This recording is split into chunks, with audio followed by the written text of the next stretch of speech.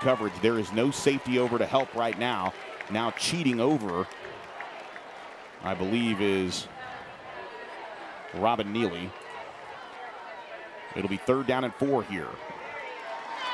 Three receivers to Cade Klubnik's right. He's looking downfield, has time, steps up in the pocket, fires downfield. Pass is caught inside the 15 yard line, down to the 10 yard line.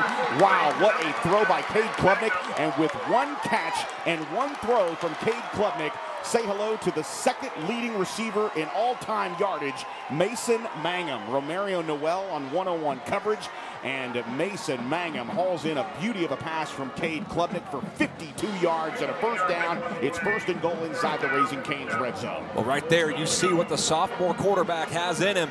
We didn't see much of that last week against Belton, but right there, a perfect throw right into the breadbasket of Mason Mangum. First and goal, and now you're going to see what else Cade Klubnik can do. Welcome to varsity football as he scampers in from five yards out. Touchdown, Westlake. Everybody loaded up left. Cade Klubnik went right, and he is into the end zone. Touchdown, Westlake. Boy, Westlake needed a spark, and Cade Klubnik delivered it with that 52-yard bomb to Mason Mangum, and then he finishes the deal with a five-yard scamper off the right side.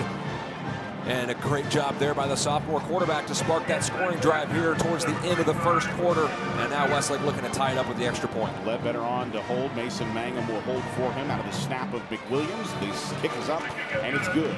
With 55 seconds remaining in the first quarter, we're all tied here at Cy-Fair FCU Stadium.